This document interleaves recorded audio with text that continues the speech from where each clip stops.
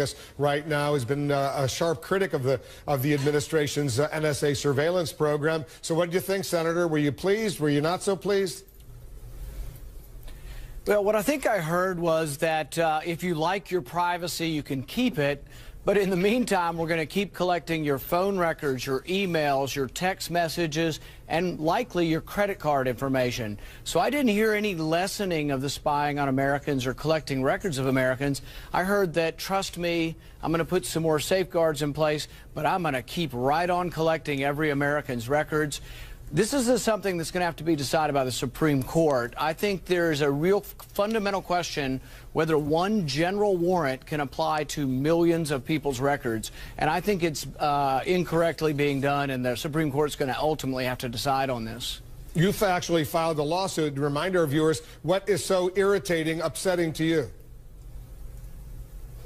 Well, the thing is, is that, you know, uh, he mentioned Paul Revere, but Paul Revere was uh, warning us of the British coming. He wasn't warning us that the Americans are coming. You know, the thing is, is that the lesson from the American Revolution that the president, I think, misunderstands is that we were upset about British soldiers writing their own general warrants, like national security letters, that allowed them to go into the colonialist house and look at their papers. We didn't like that. So we wrote the Fourth Amendment to say warrants have to be individualized. They have to name specifically the person and the place. We didn't want a dragnet where everybody's information was held, whether it's held by the government or a private entity. I, am not so sure I'm, I'm, I'm, more or less concerned by having a private entity. Who are we going to hire? Eric Snowden's contractor to hold all the information? I don't want them collecting the information. It's not about who holds it. I don't want them collecting every American's information. Um, you know, he mentioned 9 11. The thing about 9-11 is we didn't do the appropriate things because we didn't do good police work and we never even asked for a warrant. An FBI agent in Minnesota sent 70 letters to his superiors asking, can we get a warrant on this guy who wants to take off planes but not land them? And they didn't do the appropriate thing. They never asked for a warrant, which they could have gotten. We don't need a, all this extra collection of information. Here's a here's a hypothetical, and we'll get your analysis of potentially what it means. And obviously, there were a lot of mistakes leading up to 9/11. What they're trying to do is learn from those mistakes to make sure there isn't another 9/11. Let's say the U.S. intelligence community learns that there is a terrorist in Yemen or Somalia or Afghanistan or someplace uh, uh, in a sensitive area. They have the, the cell phone. They're monitoring that individual's cell phone. That individual makes a call to someone in Louisville, Kentucky, in your home state. What's wrong with the NSA then getting a court order from the FISA court, the Foreign Intelligence Surveillance Court, and trying to find out what that phone conversation between Somalia and Yemen, that terrorist suspect there, and someone in Louisville?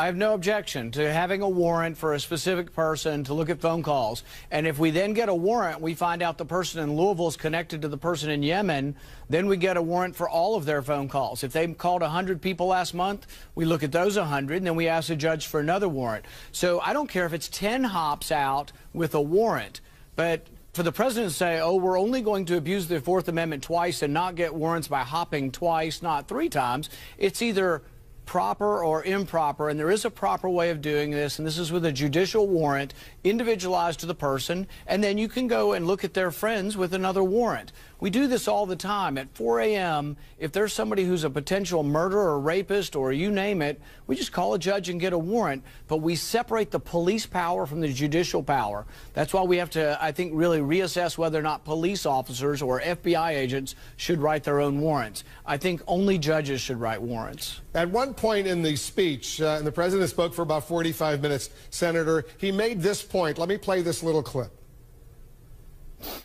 After an extended review of our use of drones in the fight against terrorist networks, I believed a fresh examination of our surveillance programs was a necessary next step in our effort to get off the open-ended war footing that we've maintained since 9-11. And for these reasons, I indicated in a speech at the National Defense University last May that we needed a more robust public discussion about the balance between security and liberty. Of course, what I did not know at the time is that within weeks of my speech, an avalanche of unauthorized disclosures would spark controversies at home and abroad that have continued to this day. He then went on to mention Edward Snowden specifically. He said, given the fact of an open investigation, I'm not going to dwell on Mr. Snowden's actions or motivations. Where does Edward Snowden, from your perspective, fit into this current debate and these proposed reforms the president put forward today? You know, I think it leads to whether or not you think the president is genuinely concerned or not. I don't think we'd be here, and I think there'd be absolutely no reform had there not been the releases by Snowden. Now, it's a separate question, you know, what to do with him and whether he broke the law, which I think he did, and how he should be punished. But the thing is, we wouldn't have any of this information and we wouldn't have any discussion. But what I think the president misunderstands is he thinks when there's a problem and there may be a potential for abusive problems, he'll get some lawyers together that all work for him, and then they'll review it and put more safeguards on it. The NSA cannot oversee themselves. The administrative, uh, the administration or the executive branch can't oversee themselves. That's why we separate these powers. But we separated the police power from the judiciary power. So we can't have internal lawyers kind of looking at this and saying, oh, well, let's try to make sure everybody's privacy is taken care of. See, really, he's not going to fundamentally change any of this. Many of us think it's an invasion of our privacy to have our text messages collected, our emails collected, our phone records collected, and likely our credit card statements collected. We think that's an invasion of privacy, simply the collection unless you get a warrant from a judge for a specific person that there's probable cause to think that they've committed a crime. That's the way our country was set up. And so what he's talking about is a different kind of country than our founding fathers envisioned. He did say at one point that uh, even though there should be a healthy skepticism, he found no evidence that there has been any abuse by anyone at the NSA as far as the personal privacy records of the American of, of American citizens. You heard him say that.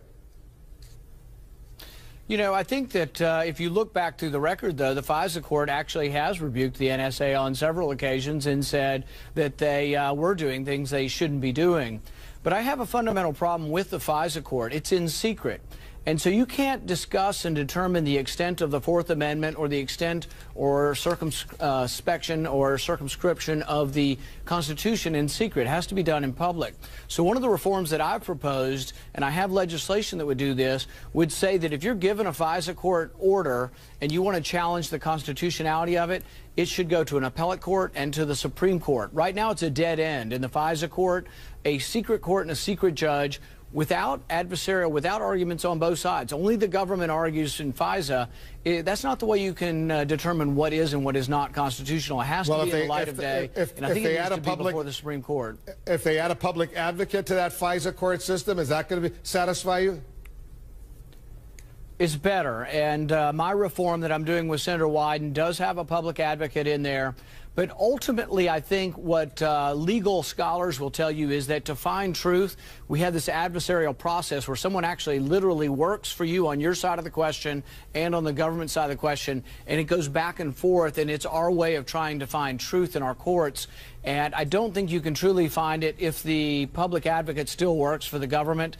You know, we have an IRS advocate right now, and I, I haven't seen hide nor hair of our IRS advocate during these scandals when they were investigating uh, Tea Party groups. So I don't think it works necessarily if they're appointed by the government. To truly have an adversarial process, they have to be hired by someone who thinks that uh, they're being injured by the government.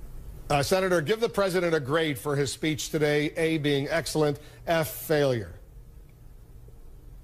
You know, I always give him an A for effort. I like the president. I like uh, what he says so much. I mean, if you looked at the gist of what he's saying, he was saying all the right things. I can really, I want to stand up and cheer until I realized what he just told me was all these great things about my privacy, except for he really, between the lines, told me he's going to continue to collect all of my private records without a warrant. So he says the right thing. I think his heart really is in the right place. And I think his motives are not bad. Neither do I think James Clapper's motives are bad. I think they want to protect the country, but I don't think that there's enough of a healthy respect uh, for the Fourth Amendment. And we government needs to be there needs to be a limitation to government power. And I see this as virtually unlimited power to look at our records, and it really needs to be reined in. So the grade would be. well, A for effort and probably C for content.